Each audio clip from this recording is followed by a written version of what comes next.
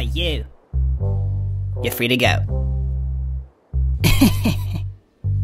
Not really, but you've got a package. Don't get your hopes up. We've already checked it for anything useful, haven't we, Dave? What? Yeah, yeah, of course I checked it. I mean, if I didn't check it, I'd lose my job, and I don't want to lose my job. See you around. Free to go. I thought that was pretty Hmm.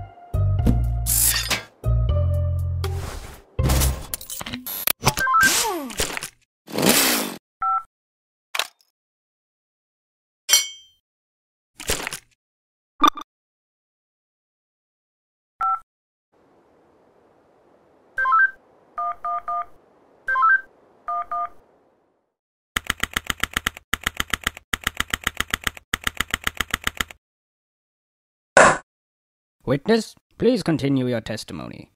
Okay. I was riding alongside my partner in the armored van when suddenly spotted a bag on the side of the road.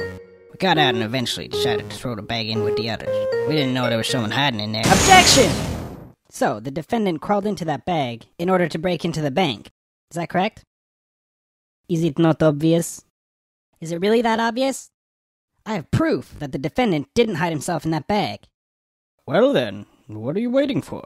Present this evidence already.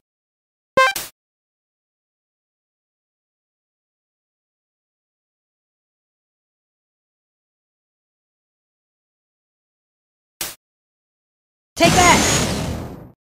What is this? It's evidence. And how exactly does this prove anything? Well, I. I was just kidding. Let me try. This is no time for jokes. I see no reason to further prolong this trial. I find the defendant, Henry Stickmin,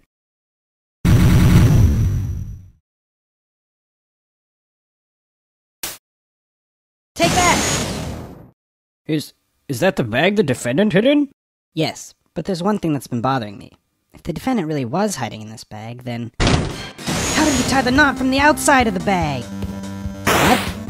If he was inside the bag, it'd be impossible for him to tie that knot on the outside. But then, uh, how did he do it? It's simple. He didn't. What?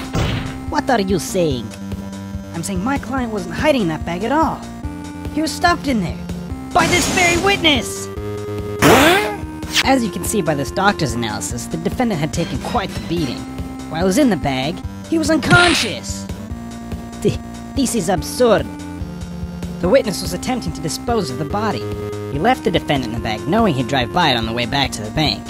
When the witness and his partner passed the bag, he convinced his partner to throw the bag in with the others. But but why would he do that?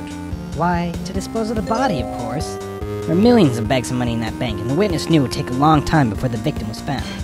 But unfortunately for the witness, his victim woke up and tried to escape from his tomb.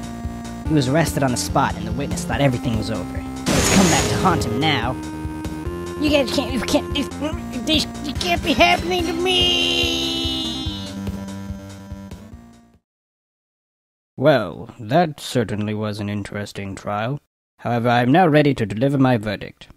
I find the defendant, Henry Stickmin,